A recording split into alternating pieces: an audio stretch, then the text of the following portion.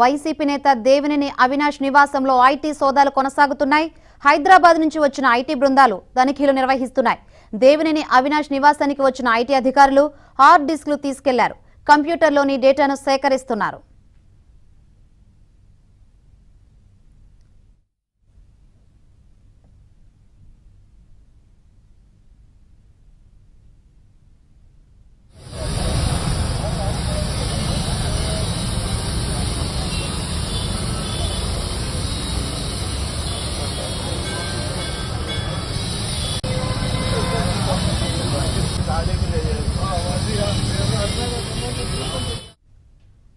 YCP నేత దేవినేని అవినాష్ నివాసంలో IT సోదాలు కొనసాగుతున్నాయి. హైదరాబాద్ నుంచి వచ్చిన ఐటీ బృందాలు తనిఖీలు నిర్వహిస్తున్నాయి.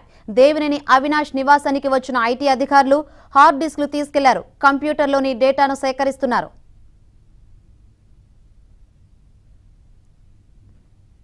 మరిన్ని వివరాలు దేవినేని అవినాష్ నివాసం దగ్గర నుంచి మా ప్రతినిధి సత్య లైవ్ ద్వారా అడిగి తెలుసుకుందాం. సత్య చెప్పండి ఇంకా ఐటీ సోదాలు జరుగుతున్నట్టు తెలుస్తుంది. ఏమైనా స్వాధీనం చేసుకున్నారా ఇప్పటి వరకు శంకరి ఉదయం ఆరున్నర గంటల నుంచి కూడా ఐటీ సోదాలు అయితే దేవినేని అవినాష్ నివాసంలో కొనసాగుతూ ఉన్నాయి. దీంతో ఈ విషయం తెలుసుకున్నటువంటి ఆయన అనుచరులు కొంతమంది ఇక్కడ కొద్దిసేపటితో చేరుకున్నారు. వారంతా కూడా తీవ్ర ఆందోళన వ్యక్తం చేస్తున్నారు. ఈ ఆస్తుల విషయంలో ఇప్పటివరకు ఎలాంటి ఇబ్బంది రాలేదు. ఐటీ రైట్స్ జరుగుతున్నాయనగానే వివిధ ప్రాంతాల నుంచి కూడా ఫోన్లు చేస్తూ ఉన్నారని కొద్దిసేపటి క్రితం అవినాష్ అనుచరుడు ఆరవ సత్యం కూడా పేర్కొనడం జరిగింది. ఇదే సమయంలో ఐటీ రైట్స్ అయితే ప్రస్తుతం అయితే కొనసాగుతూ ఉన్నాయి. కొద్దిసేపటి క్రితం అంటే ఐటీ అధికారులు హైదరాబాద్ నుంచి వచ్చిన ఐటీ అధికారులు కొన్ని హార్డ్ డిస్క్లను లోపలికి తీసుకువెళ్ళారు. అయితే హార్డ్ డిస్క్లో సరిపోకపోవడంతో ఇంకా అదనపు సమాచారం కంప్యూటర్ నుంచి తీయాల్సి ఉండడంతో కొత్త హార్డ్ డిస్క్లు రెండు హార్డ్ డిస్క్లను కూడా తీసుకురావాల్సిందిగా స్థానికంగా ఉన్నటువంటి ఐటీ అధికారులకు ఆదేశించడంతో వారు కూడా కొద్దిసేపటి క్రితం ఇక్కడికి వచ్చి లోపల నుంచి వచ్చినటువంటి అధికారులకు హార్డ్ డిస్క్లు అందజేసిన పరిస్థితి అయితే ఉంది. ముఖ్యంగా హైదరాబాద్లో ఉన్నటువంటి ఒక స్థల వివాదానికి స్థలం సంబంధించి ప్రాపర్టీకి సంబంధించి గతంలో ఆ ఎన్ఓ ఏదైతే ఎన్ఓసీలు ఉన్నాయో అన్నీ కూడా గతంలో కాంగ్రెస్ ప్రభుత్వ హయాంలో ఇవ్వడం జరిగింది. ఆ స్థలాన్ని తరువాత వంశీరామ్ బిల్డర్స్కు ఇవ్వడం జరిగింది. ఆ వంశీరామ్ బిల్డర్స్ దానిలో కొన్ని నిర్మాణాలను కూడా చేపట్టినట్టుగా తెలుస్తుంది. అయితే ఈ నిర్మాణాలకు సంబంధించి జరిగినటువంటి ఏవైతే అవ నిర్మాణాలకు సంబంధించి ఏ, లావాదేవీలు జరిగాయో వాటి మీద ఐటీ అధికారులకు స్పష్టమైన సమాచారం ఉన్న నేపథ్యంలో వారు ఈ సోదాలు చేస్తున్నట్టుగా తెలుస్తోంది. ముందుగా అటు గన్నవరం ఎమ్మెల్యే వల్లభనేని వంశీ నివాసంలో కూడా ఐటీ సోదాలు జరిగాయని వార్తలు వచ్చినప్పటికీ కూడా ఇప్పటి వరకు అది ఎవరూ నిర్ధారించడం లేదు. అది కూడా వాళ్ళ నివాసానికి వెళ్ళినప్పటికీ కూడా అటువంటి వాతావరణం ఏమీ కనిపించని పరిస్థితి. దీంతో ప్రస్తుతం అయితే మాత్రం ఈ ఉదయం ఆరున్నర నుంచి వల్ల ఈ ఉదయం ఆరున్నర నుంచి దేవినేని అవేష్ అవినాష్ నివాసంలో మాత్రం ఐటీ సోదాలు కొనసాగుతున్నాయి.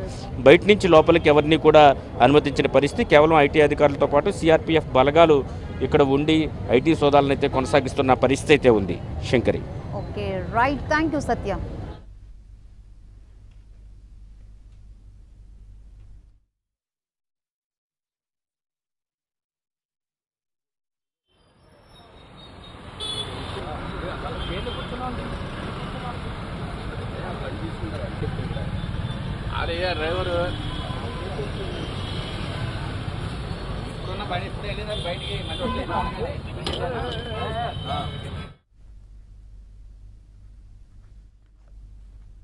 లక్షలాది మంది కార్యకర్తన్నారు మీ అందరూ ఒక ఇంత ఆశ్చర్యానికి గురయ్యారు. ఎందుకంటే మేము మొట్టమొదటి ఈ ఆర్గనైజేషన్లో తిరుగుతూ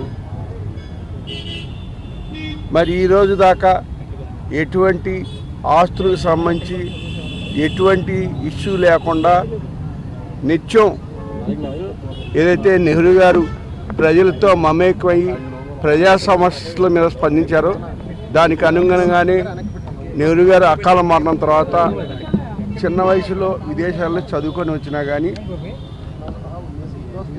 మరి వారి యొక్క మనోగతం తెలుసు కాబట్టి ఎవరైతే బీసీ ఎస్సీ మైనార్టీల యొక్క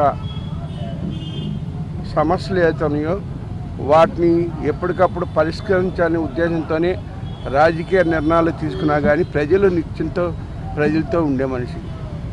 మరి ప్రతిరోజు కూడా ఏదైతే పార్టీ ఇచ్చిందో ఆదేశం గడప గడపకి ప్రభ వెళ్ళి ఆ వార్డులో తిరుగుతూ ఈ రోజున ఈ నియోజకవర్గంలోనే ఇప్పుడు దాకా మునుపు ఎన్నడూ లేని విధంగా ప్రజాహిత కార్యక్రమాలు కానీ సంక్షేమ పథకాలు కానీ ప్రజల ముందుకు తీసుకెళ్తున్నాం అవినాష్ గారు. మేము ఒకటే అడుగుతున్నాం మరి లక్షలాది రూపాయలు కోట్లాది రూపాయలు గతంలో మేము చాలాసార్లు చెప్పాం రుజువు కూడా చేసాం మీ పత్రిక ప్రతినిధుల సమక్షంలోనే రుజువు కూడా చేసాం దొరికిన వాళ్ళ దగ్గర స్వాధీనం కూడా చేస్తున్నారు ఇన్కమ్ ట్యాక్స్ అధికారులు. మరి వాళ్ళ సడన్గా అంటే మా అందరికీ ఒక ఆశ్చర్యంగా గురవుతున్నాం. అందరం ఆందోళన ఉన్నాం. ఇక్కడికి వచ్చే వేలాదిగా ఎందుకంటే మేము ఒకటే చెప్తున్నాం ఎవరైతే వచ్చారో అధికారులు ఇది కావాలని నెహ్రూ గారిది లేదంటే అవినాష్ యొక్క వ్యక్తిగత ప్రతిష్టని భంగంగా వాటిల్లేలాగా ప్రవర్తిస్తున్నారు. ఈ గేట్లు ఏంటో ఎందుకంటే మా ఇళ్ళలోకి మమ్మల్ని రానికుండా. మేమేమి ఎవరం కూడా నేరస్తులం కాదు. మా ఇళ్ళలోకి నిత్యం వచ్చేవాళ్ళం మేము. ఇవాళ కొత్తగా రావట్లా మరి కొత్తగా వచ్చి వాళ్ళు తలుపులు వేసుకొని దౌర్జన్యంగా ఈ విధంగా చేయటం ఎంతవరకు ఒకసారి ఆలోచించుకోవాలని చెప్పి కోరుతున్నాం. మేము విజయవాడ ప్రజలకి అలాగే రాష్ట్రం పక్క రాష్ట్ర ప్రజలకు ఒకటే విజ్ఞప్తి చేస్తున్నాం. నెహ్రూ గారు ఏ విధంగా ప్రజా సమస్యల మీద స్పందించారో అంతకి రెట్టింపుగా తండ్రి బాటలో తండ్రికి తగ్గ తనయుడిగా మూడు అడుగులు లేదు ప్రజల యొక్క సమస్యలు తీరిస్తే ఈ విధంగా చేయటం ఎంతవరకు సవ్వ ఆలోచించుకోవద్దు.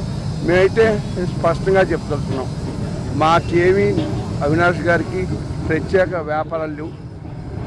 ఎక్కడా కూడా వ్యాపారాలు చేసి దొంగ వ్యాపారాలు చేసి దొంగ సారాలు కాసి లేకపోతే అమ్మాయిల్ని ఇచ్చేసుకొని ఇవన్నీ మేము చెప్పడం కాదు. గతంలో మీ పత్రికల్లో వచ్చిన గతంలో విజయవాడ నగరంలో ఎంతమంది సెక్స్ స్కామ్తో అమ్మాయిల్ని ఎంతమంది ఎరవేసి ఏ విధంగా ప్రవర్తించారో మీ అందరికీ తెలుసు.